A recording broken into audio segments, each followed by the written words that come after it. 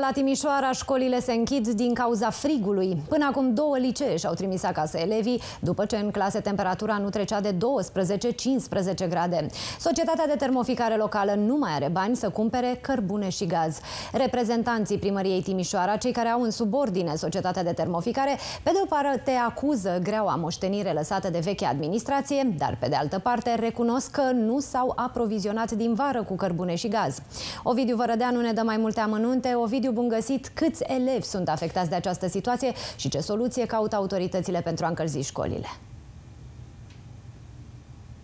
Bun găsit, peste 1200 de elevi au trecut de astăzi în online din cauza frigului. Liceul Ari Coandă și cel de arte plastice și-au închis porțile.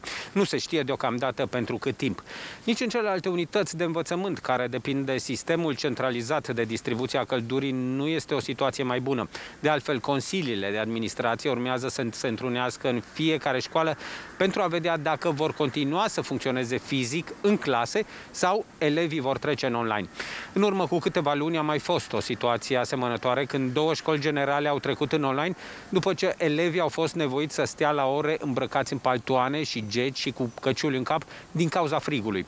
Reprezentanții primăriei Timișoara ridică din numeri și dau vina când pe guvern, când pe creșterea prețurilor la gaz, când pe greaua moștenire lăsată de fosta administrație.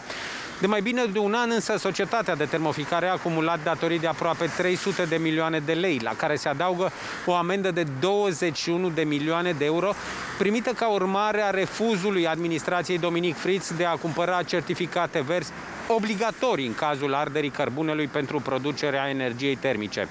Mai mult, conducerea primăriei a decis ca societatea de termoficare să intre în insolvență, înainte însă de a face aprovizionarea pentru iarnă. Astfel, furnizorii nu au mai vândut combustibil fără plata în avans. Nu este însă frig doar în școli. În cele peste 40.000 de apartamente racordate la sistemul centralizat, temperaturile sunt de asemenea scăzute.